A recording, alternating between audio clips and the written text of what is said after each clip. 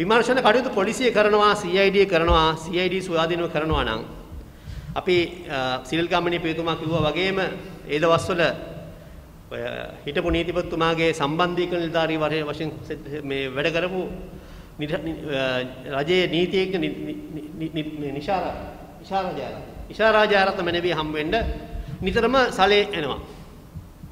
මෙජන සලේ ඇවිල්ලා නිතරම ඒ කියන්නේ ඒක නිසා තමයි මම හිතන්නේ අන්තිම කාලෙදී මේ ඔය හිටපු නීතිපතිතුමා විශ්‍රාමයන්ට දවස් කීපයකට ඉස්සෙල්ලා කියලා තියෙන්නේ මේක මා අපිට පේනවට වඩා ලොකු දෙයක් මේක ඇතුළේ තියෙනවා කියලා කියන්න ඕනේ ඒකයි. මොකද හේතුව සලේට මේජර් ජනරල් සලේ කියන්නේ දැන් බුද්ධ්‍යංශ ප්‍රධානිය වෙන සලේට ඔතන ඇවිල්ලා කරන්න කාර්යභාරයක් නැහැනේ. ඒ කියන්නේ ඒ කියන්නේ ලොකු බලපෑමක් දැන් ආණ්ඩුව ආණ්ඩුව ආවා තුනෙන් දෙක ගත්තා විශ්ව සංශෝධනය කළා. නමුත් මේ නීතිපතිතුමා 19 වෙනි සංශෝධනයෙන් අපි මේ 19 වෙනි සංශෝධනයෙන් යම් මට්ටමකට මේ සුදුසුයි කියලා හිතපු ඉඳ පත් කරපු නීතිපතිවරයෙක්.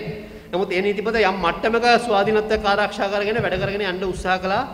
නමුත් මේ සීජ ආණ්ඩු බලෙත් එක්ක විශ්ව සංශෝධනයෙන් එයාට ලැබිච්ච බලෙත් එක්ක මොකද නීතිපති ඔය පහුගිය කාලෙත් මහින්ද රාජපක්ෂ කාලේ ආණ්ඩුව තියෙන කාලේ 2015ට ඉස්සෙල්ලත් ජනාධිපති ලේකම්කාරයෙක් හිටියා. ජනාධිපති සහකාර ලේකම් කෙනෙක් අපේ හිතවත් නේ රාජ්‍ය නීතිඥ මහත්තයෙක් ඒ නීතිඥ මහත්තයා ලව්ව තමයි නීතිපති දෙපාර්තමේන්තුවට බලපෑම් කරලා අධිචෝදන ඉල්ලාස් කර ගැනීම කළේ ඒ කාලේ.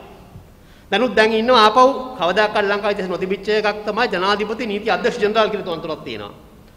ඒ ජනාධිපති නීති අධ්‍යක්ෂ ජෙනරාල් තොන්තර තමයි අපේ හිතවත් නීතිඥ මහතුරු තමයි. නමුත් ඒගොල්ලෝ තල්ලව තමයි දැන් මේ නීතිපති දෙපා දැන් අද අද අපිට බොහොම කනකාටුදායක තත්ත්වයක් තමයි තියෙන්නේ. ලංකාවේ නීතිපති කියන තනතුර ඉතාමත්ම සැහැල්ලුවට පත් වෙලා ඉතාමත්ම තුට්ටු දෙකට පත් වෙලා තියෙනවා.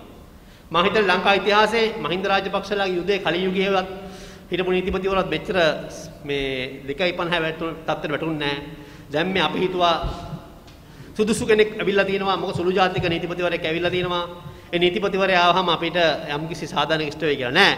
මේ නීතිපතිවරයා මම හිතන්නේ ඉතාමත්ම ලැජ්ජාසහගත ලෙස තමන් කොළඹ විශ්වවිද්‍යාලයේ හරි නීති විද්‍යාලයේ හරි යම් කාලයක රටේ ජනතාවගේ බදු මුදලෙන් ඉගෙනගෙන රටේ ජනතාව වෙනුවෙන් රටේ ජනතාව නීතිපති දෙපාර්තමේන්තුවට පඩි ගෙවන රටේ ජනතාව.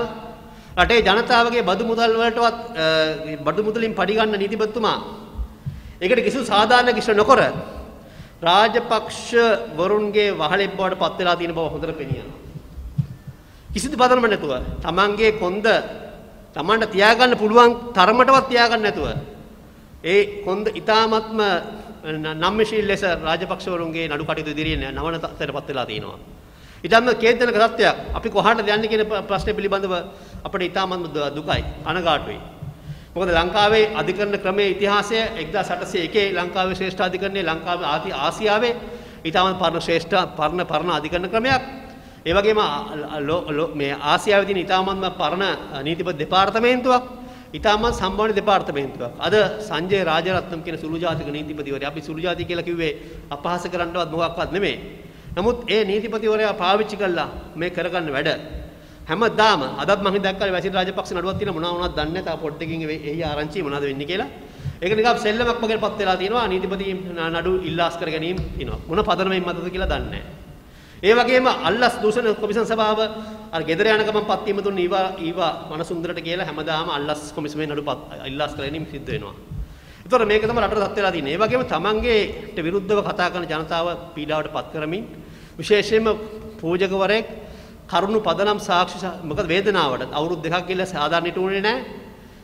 පූජකවරුන්ට ඒ පල්ලිවල තමන්ගේ මීසම් වල තමන්ගේ අපි විශේෂ කටුව පිටේ ඉන්න ෆාදර් හරි කොච්චිකාඩේ පල්ලියේ ඉන්න ෆාදර් හරි ඒ වගේම අගරදුකරුතුමා විශේෂයෙන්ම කතෝලික සභාවේ ලංකාවේ නායකයා වශයෙන් ඒන ජනතාවගේ පීඩනේ දරාගන්නේ කොහොමද? ජනතාව පීඩනයත් එක්ක කතා කළ යුතුයිනේ. ඒකත් එක්ක කතා කළාම අද අන්තිම ත්‍රස්තවාදීන් බවට පත් කළා දඩයන් කරන්න උත්සාහ කරනවා.